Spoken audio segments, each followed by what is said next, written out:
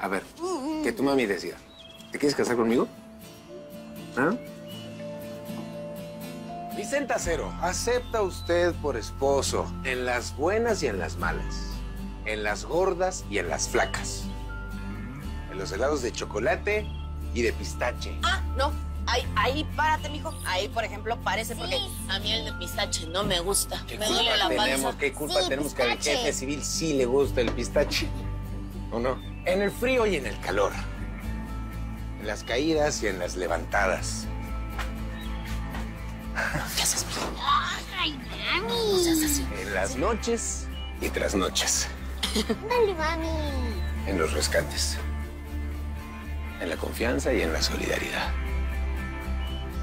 ¿Aceptas por esposo a Alberto Fuentes? Di que sí, mami, di que sí. Di que sí, di que sí.